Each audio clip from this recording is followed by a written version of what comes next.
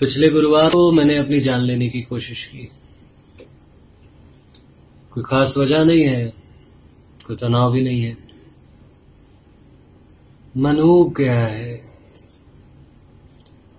घर थाना थाना घर घर थाना। मोर्चरी, रंडी, बड़वे, लाशें। आए दिन अपनी कमीज से खून के धब्बों को साफ़ करना। कोई शिकायत नहीं है। अब पुलिस की नौकरी की है तो इतना तो करना होगा ही। अजीब एहसास है। अजीब। जैसे हर रोज एक नया दिन निकलता है, मैं वही पुराना हूँ। दुनिया वही पुरानी है।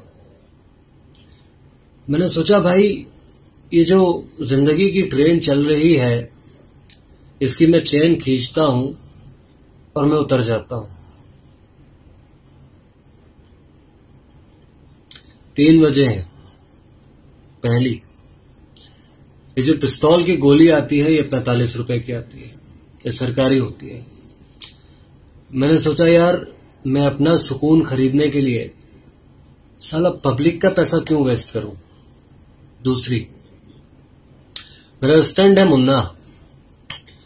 उसके कुछ रिलेटिव आए हुए थे हरियाणा से, नेक्स्ट डे होली थी। मैंने सोचा, यार, मर जाऊँगा इसकी होली खराब हो जाएगी। तीसरी, बंदूक की ठंडी ठंडी नली जब मैंने अपने माथे पे लगाई तो और खिड़की की तरफ़ देखा तो एक खूबसूरत इंद्रधनुष मुझे दिखाई दिया। मैंने सोचा, यार, इसको देखते देखते तो नहीं मरा जा सकता। मैं उठा, खिड़की बंद करके वापस जैसे ही मुड़ा, वो मोमेंट चला गया। वो चला गया। उसके बाद मेरा मरने का दिल नहीं किया।